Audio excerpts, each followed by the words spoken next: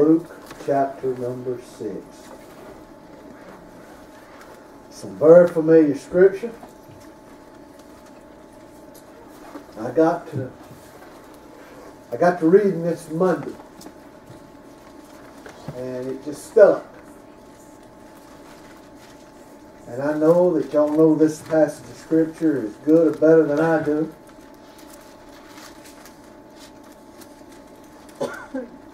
Got to praying on it, got to thinking about it. The more I could, all I could think of was for the day and time we're living in. If you're able tonight to stand in respect to the Word of God, Luke chapter 6, going to read verse 48, uh, 47, 48, and 49. Jesus speaking, Whosoever cometh to me and heareth my sayings and doeth them. And don't ever forget those three little words. I will show you to whom he is like. He is like a man which built a house and digged deep and laid the foundation on a rock. And when the flood arose, the stream beat, beat vehemently upon that house and could not shake it, for it was founded upon a rock. But he that heareth and doeth not is like a man that without a foundation built a house upon the earth, against which the stream did beat vehemently, and immediately it fell, and the ruin of that house was great. Thank you. You can be seated. Let's go to the Lord in prayer. Fathers, we come to you again tonight. We do thank you and praise for the day, for the way that you took care of us. You've watched over us. You've supplied our needs. You've given us health and strength. Lord, you've been good to me. And I know that every good thing we have is from you. I want to thank you tonight for the privilege of being able to be back in your house. Thank you for each one of these that's come out. Always counted a privilege, a pleasure, and an opportunity to be able to come and meet together with our brothers and sisters in Christ. Father, I thank you for the privilege we have to bow before you and call on your name. Thankful that because of the blood we can come before the throne of grace and make our wants and petitions known. But God, I thank you more than anything tonight for saving me. I thank you for Jesus and that finished work at Calvary. I thank you tonight, God, that He did it all. He didn't leave anything out, didn't leave anything undone, but He went to that cross, shed His blood, gave His life, took my sin on Himself, took the punishment for that sin. Father, I beg you tonight, forgive me where I've failed you, forgive me where I've come short, where I've let you down. Thank you for this service already. Thank you for each one that stood to brag on you. But God, I need your help again tonight as I stand and try to preach. Father, I need you to reach down tonight. I need you to help me to do what I can't do for myself. I beg you, God, to lead me in the path you'd have me to go. And I pray, God, I'll be obedient. I pray that you give me the words that you'd have said. Show me what you'd have me to do. Praying for that fresh touch, that fresh anointing from on high. Praying, God, that you would just come down and overshadow this place. Lord, I pray that you take away anything that might hinder the service, anything that might quench your spirit. Praying, God, that you just build a hedge around us that the devil can't get through. Just go with us now through the rest of the service. You watch my mouth. Don't let me say it wrong. Don't let me lead anybody astray. Father, praying more than anything that if there's anybody here or anybody watching online that does not know Jesus, that tonight would be the night to step out on faith, look to Him, ask Him into their heart and life. And praying tonight, Father, that I can say something that will encourage and help you people. Have your way, for we ask it in Jesus' name. Amen. Again, very familiar scripture, and I know that.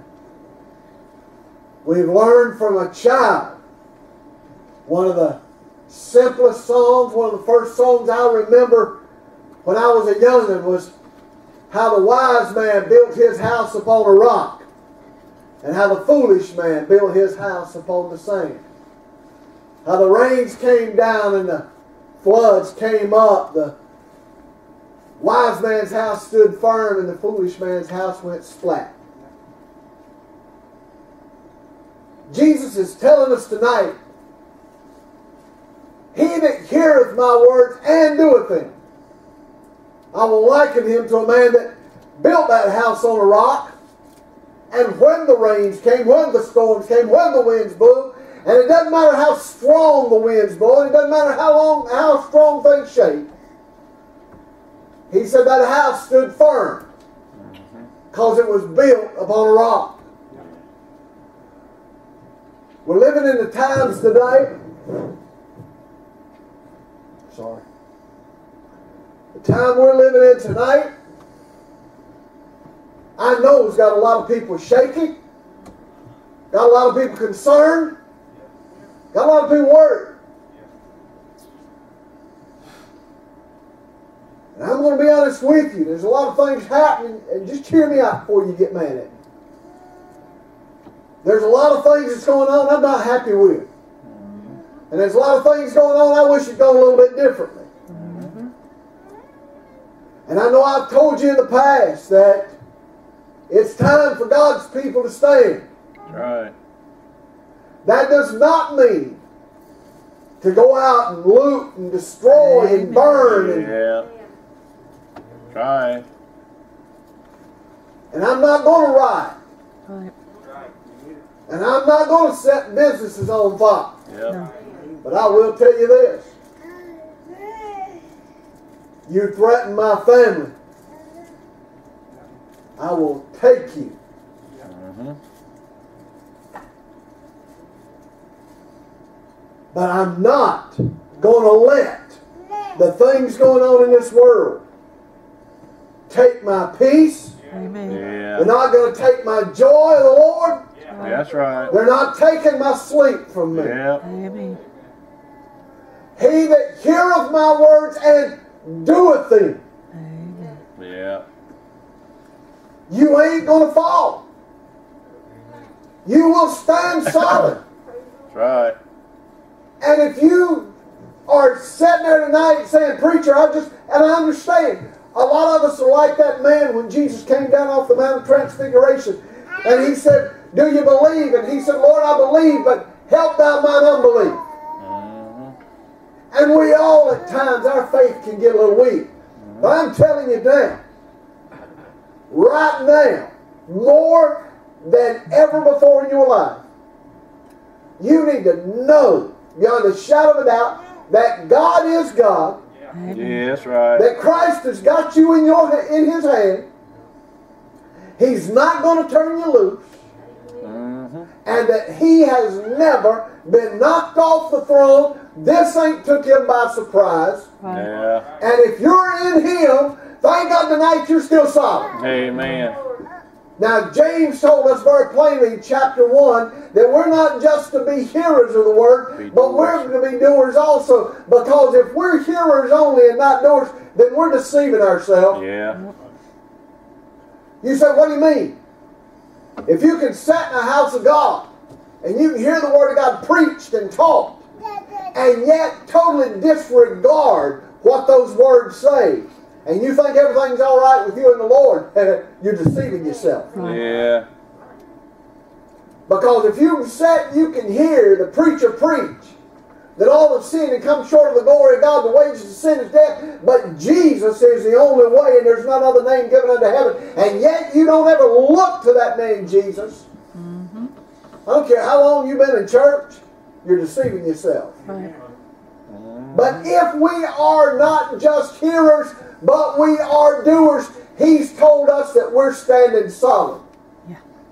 Now, the, I guess the question is right now, what do we got to be afraid of? Mm-hmm. We believe Him or we don't. Right, yeah. In Matthew chapter 16, when He said, Who do men say that I, the Son of Man, am? Y'all know it as good as I do. Yeah. We just need to be reminded sometimes. Some say you're John the Baptist. Some say you're Elijah. Some say you're Jeremiah or some of the other prophets. Who do you say that I am? Simon Peter said, Thou art the Christ, the Son of the living God. Blessed art thou, Simon Bar Jonah. Flesh and blood is not revealed that to you, but my Father which is in heaven. Mm-hmm. Now, when he called him, he said, And thou art Peter. And when he changed Simon's name and called him Simon Peter, what he was talking about was you're just a pebble. I, again, I don't know Greek, but I'm thankful I got a good Greek dictionary. Mm-hmm. The church was not built on Simon Peter. Right. Yeah. Church was built on the rock. Right. He was built on that rock that, that Daniel saw rolling through Babylon, knocking down everything in its path. He said, On this rock I'll build my church. You know the rest of it. And the gates of hell shall what? Not prevail against it. Yep. Now, I got to reading that verse, and this Baptist like to shout it. The gates of hell. The Bible says Jesus is the door to heaven, Yeah. right? Yeah. So by contrast, why did he use the word gates of hell? If he is the door to heaven, then the gates of hell has got to be the devil and the demons. Yeah. And thank God, it doesn't matter what hell throws at you uh-huh. or what hell throws at me. If we're standing on the rock, he said the gates of hell shall not prevail against it. Tonight, I know the devil's after us. He's after our nation. He's after our homes. He's Yeah. after our families. He's after our churches. But if we're built on that rock, and we're not only hearing what God says, but we're doing what God says, then thank God the devil ain't got a chance against us Amen. That's right. unless we give it to him. Yep. The gates of hell shall not prevail. Who we're we afraid of tonight? Think about it. Everything going on. I'm hearing about all these protests on both sides. Anymore, I don't know who to believe and who to trust. Right. But thank God there's one sitting at the right hand of the Father said he would never lie, that he was truth. Yep. So put your faith in Him. Put your faith in His Word. Do what He's told us to do. Stand solid on that rock. And thank God when the storm comes, and it's coming, Yes. Mm-hmm. it's coming. Yeah. Somebody asked me, said, What do you think's going to happen in the next couple of weeks or the next week or so while, while President Trump's still in office? I said, I ain't really worried about that. Nope. Next four years, he ain't going to be my president. What scares me is what's going to happen in the next hundred days Right. Yeah. and changes that are going to be made. Yeah. Let's let's let's don't dwell on that. Let's talk about the one that said, "I'm going to keep you." Yep. Yeah. You know, in First Peter chapter two, and he begins to to quote one of the Psalms, and I can't remember which one, but he said, "The stone which the builders disallowed." There's a lot of people trying to build tonight. And there's a lot of people trying to build their own religions and trying to build their own church. Mm-hmm. You know, think back to the scribes and the Pharisees. They wanted it done their way. They were jealous of Jesus, just, just to be honest. Yeah. And let's look at people down through the years that's wanted to change Christianity. They wanted to change their, their, their own religion. I mean, look, we've got all these offshoots and still claim to be Christian, but they're as far away anything other than Christ, it ain't Christianity. Right. Yeah. Say right. what you want to say. Yep. But he said the stone that the builders disallowed, the same is made the head of the corner. And he is a stumbling block and he's a rock of offense. See, the church itself is built on that solid foundation with Jesus Christ being that cornerstone, everything else built around him and built on him. And as long as we are on him, Mm-hmm. then thank God we are that church. We are that body of Christ. We are standing firm. We're standing solid. And let me tell you, when that storm comes, we still going to be standing when it's over and done with. Yeah. That's right. I remember, I don't know how many years ago it was, and we was we was getting ready to head up on the mountain to, to a revival meeting. And that Saturday evening, all of a sudden things started shaking. Mm-hmm. Things started, I mean, blah, blah, blah, just like that. When everything was over and done with, you could see the other side of the house where that tornado had come through them trees. Yep. It jumped the road, went between my grandpa's house and my aunt's house, Yep.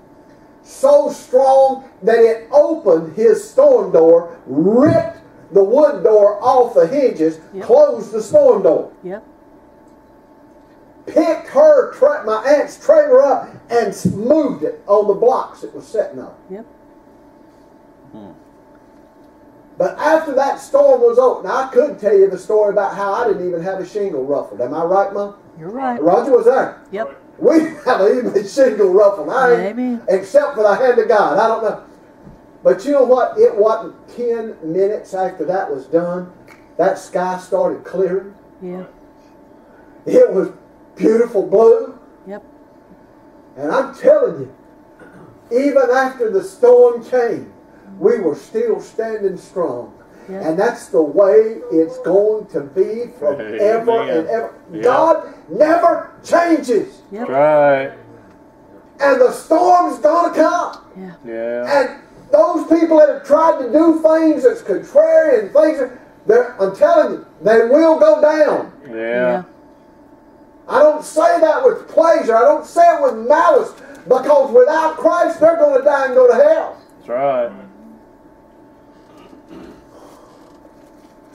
But thank God, God's promised me that even when it's over and done with, I'm still going to be standing there. Yes, sir. I will still be on that rock. And that corner has become, he, he has become a stumbling block. He's become a rock of offense.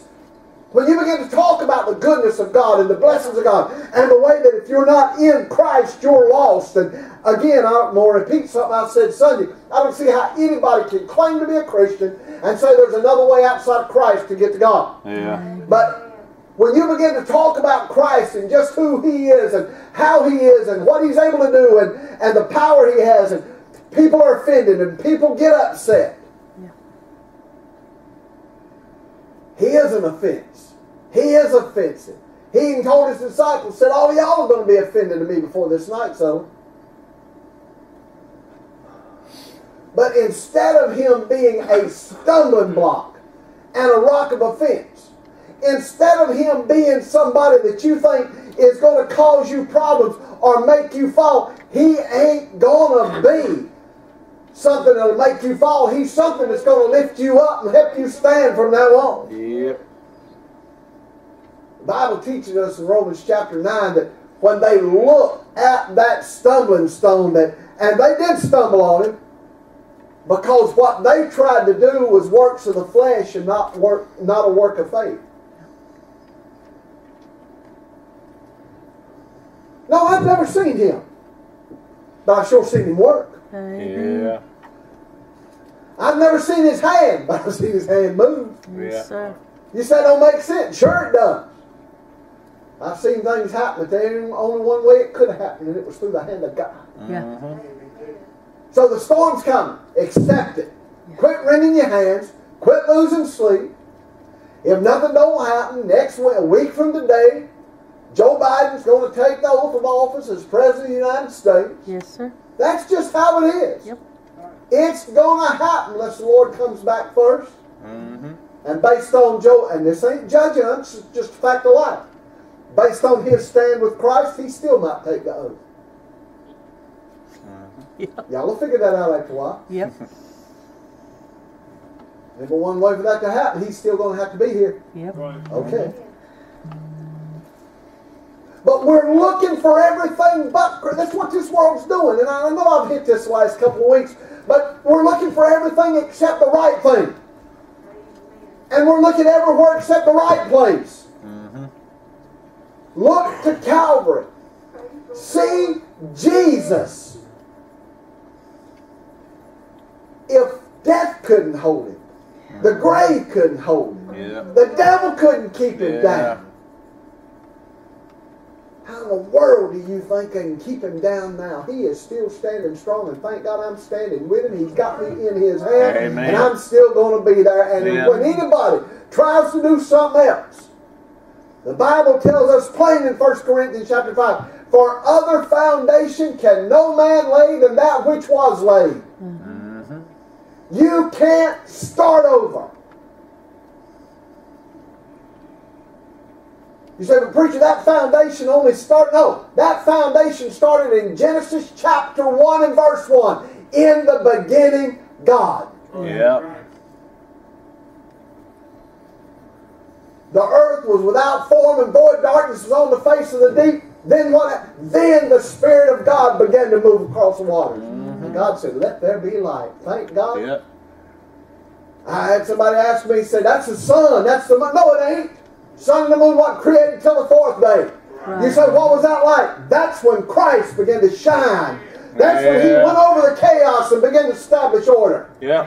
And that's what he'll do in our lives if we'll let him. That's what he'll do in our country if we'll let him. Yeah. If the light of God would, what people would let it in, his, in their hearts, then the chaos in this country would go away. And just as the earth was without form and void, the United States is becoming without form and void. Yeah. And darkness is creeping fast. Mhm. But thank God when God said, let there be light, there was light, it was good. And, God, hey, and you ain't never been able to say nothing bad about God's things. Right. Yeah. The foundation was laid down. You say I didn't see it. No, but we saw it at Calvary. We saw it at the empty tomb. We saw it when he ascended back to the Father. And we'll see him again Mhm. because he's coming back after his church. You know, all through Scripture, and I don't know what's done, believe it or not. All through Scripture, we talk about, we hear, we've even heard Jesus say, Heaven and earth's going to pass away, but my word will never pass away. Mhm. Jesus said all these things. He said, doesn't matter how long it takes, there's not one jot or one tittle of, of the word that's going to be that's not going to be fulfilled.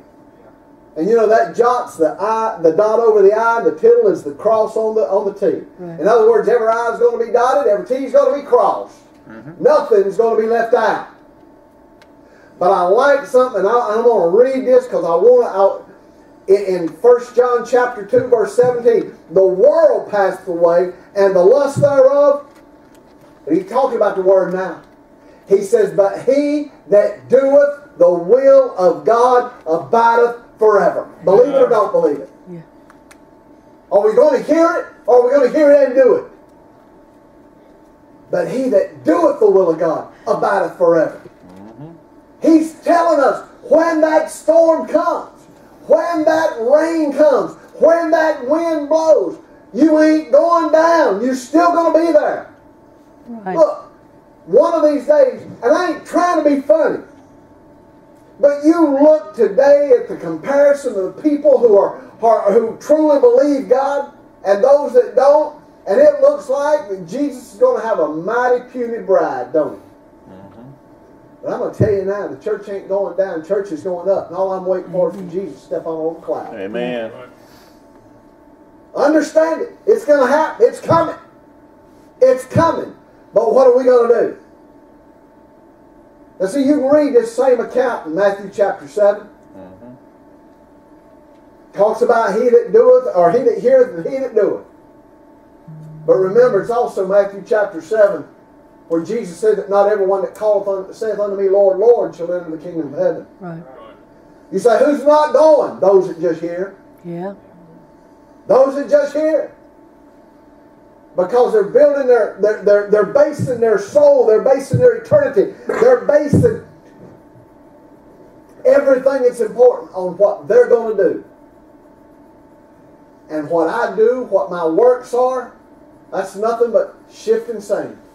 Yeah. And understand that tonight. See, you know, the wind blows, sand shifts. It ain't solid, it ain't stable. I, I, I really wish I could took the time because I, I thought about that on the way over here. Actually, I would like to, to, to see.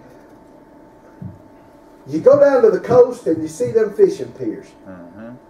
and you watch them building them houses right there on the ocean front. But they don't they don't dig no 18 inch footing. Right. Mm-mm. I don't have any idea how far they go down. But they go down till they hit rock solid. Yeah. And that they'll take those they'll take them round cardboard forms and they start just packing them full, cement and rebar. Mhm. But they don't put them supports. And I don't care if they are that big around. You just set them on top of the sand and you watch what happens to the house. Yeah. it'll fall. Well, that's what we've tried to do in our nation. That's what we've tried to do in a lot of our lives. We're building it on something that shifts, and it just ain't going to last. It's not going to stand. Job, in the book of Job, chapter 8, it wasn't Job speaking. I think it was Elihu. I could be wrong, but it says that he'll lean on his house, but it shall not stand. He said, why won't it stand? You ever, you ever thought about that? You just walk up to the wall of your house. You know if you leaned up against that wall and the whole house collapsed, you ain't got much. Right. Well, that's what we're doing when we try to do it ourselves. Right. We try to put it together. We try to keep it together. But it will not endure. We'll lean on our own house and it's going to fall. So, Jesus is talking in Luke chapter 21. I'm done with this. He's talking in Luke chapter 21, and I don't want to take this out of context because I know he's talking about the time that's leading up to the Great Tribulation, and I've got to be honest with you folks. I think we're leading up to it. Are we in it? Nope, because I'm still here. And if you're saved, you know you better know that it ain't happening because you're still here. Right. But he begins to tell them that there will be men's hearts failing them for fear. Looking at the things that are coming in the earth. Failing for fear. Literally scared to death.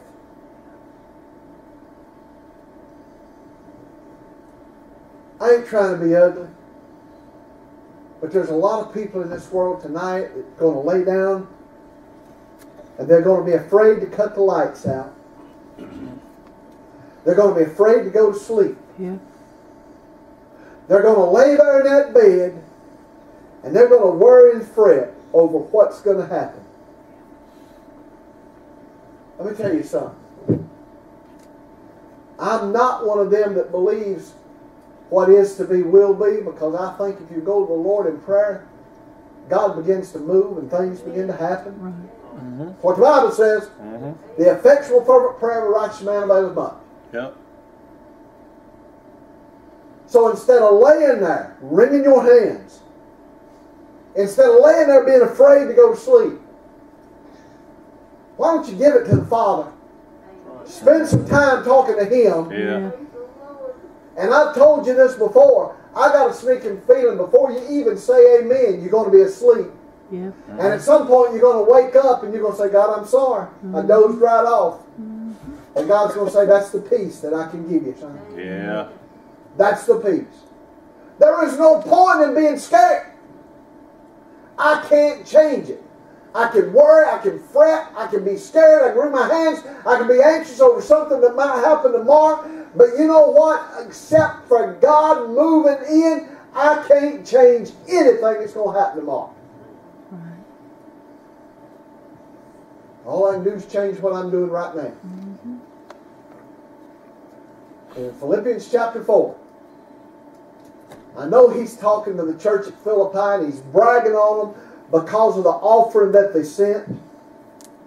And he told them they didn't send it out of their abundance, they sent it out of their out of their want. The church at Philippi was poor. And yet, as poor as they were, they knew that the church in Jerusalem there was people starving. So they still gathered what they could gather and sent it. Paul said, Because you know. He said, You've done this. And he said, You know. In Philippians chapter 4, you know the verse 19 good as I did. But my God shall supply all your need Mm-hmm. according to his riches and glory by Christ Jesus. Amen. Right now, and let's be honest, let's be perfectly honest. Right now, if we stood in the mirror, and I know everybody has different different needs, and not everybody's got a truckload of money, not everybody's got a, a pile of food left, uh, you know, put back. Up. But right now, the majority of the people sitting in this church don't need a thousand dollars. The majority right now, I mean, I'm talking about right now. And the people sitting in this church probably ain't going to worry about where their next meal's coming from. Come on, I still believe what the Word of God said. Seek ye first the kingdom of God, and then all this will be added to you later. Yeah. If you put Him first, David said, I once was young and now I'm old, but yet have not seen the righteous forsaken or his seed begging bread. Right. Mm-hmm. Okay? God said, You return unto me, I'll return unto you, and I'll open up the windows of heaven and pour out a blessing you cannot contain. Amen. Yeah. But what the majority of the people that's listening to me right now needs more than anything else is peace, Yeah. stability, Mm-hmm. and they need to hear the same words that Jesus said that night out on the Sea of Galilee. Peace be still. That's right. And he may not come. Listen, I told you a minute ago, I'm convinced. Yes, the storm is coming. Mm-hmm. And I think the storm's coming because we've rejected God. Yep. I think our nation has been on borrowed time for a good while. And for lack of a better phrase, and this ain't real spiritual, but I believe the pimple's about to come to a head. Mm-hmm. The storm's coming. And in that storm, he may not calm that storm. But thank God he has promised he'd calm you. Yeah. Yes. He may not stop the storm. But he's promised that he'd give me new peace that passes all understanding. Mm-hmm. So tonight, you get ready to go to bed. And you're saying your prayers. What you need to do after you've thanked Him for the blessings and mercies of the day, and after you've thanked Him for saving your soul, you need to thank Him for the fact that, God, I know I'm standing on you. Amen. Like that old song they sung years back, I am standing on that solid rock. Mm-hmm. Through the disappointments, trials, and discontentments, Right. I can still stand on Him. And thank God because I'm on Him, when the storm's over and the sky clears, I'm still going to be standing. Mm-hmm. And you've got that promise from a holy and a righteous God. Mm-hmm. Understand that tonight. I'm not belittling anybody. I want you to, I want you to be able to get some peace in your life. God's promised it to you.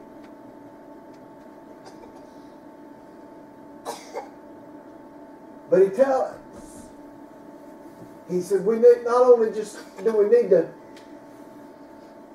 hear it, we need to do it. The verse right before that, if your Bible's still open, but I didn't read, said, Why call ye me Lord, Lord? Mm-hmm. And do not the things. I think I'm right. Yep. Yeah, and do not the things which I say. So let's just lean on Him. Let's trust Him. To obey is better than to sacrifice, and without faith it's impossible to please Him. Mm-hmm. That old song, Trust and Obey, for there is no other way Yep. to be happy in Jesus but to trust and obey. Yep. So tonight, if you're a child of God, you're on that rock. Thank God you'll stand. When the rest of it's falling apart, Yeah. you'll stand. Father, we thank you for the day. Thank you for watching over us, for keeping us safe, supplying our needs, and for help and strength. Father, I thank you for allowing us to be here in your house tonight to meet together with our brothers and sisters in Christ. I thank you for allowing us to look at a little portion of your word. And Father, I pray tonight I said what you'd have me to say. And I, God, I understand that after a message like this, the devil's going to start throwing. I understand. But Father, I'm thankful tonight that not only am I standing on a rock, but I've got that shield of faith. Father, watch over your children. Encourage them. Strengthen them. God, it's hard for us to strengthen ourselves. I'm thankful, Lord, that you are our strength. You are our rock. You're our deliverer. You're our fortress. You're a very present help in time of trouble. And God, tonight we know that the storm's coming. But I'm thankful tonight. On the authority of your word, when the storm clears, we'll still be standing. Father, go with us now through the night, through the rest of the service. Have your way. For we ask it in Jesus' name. Amen.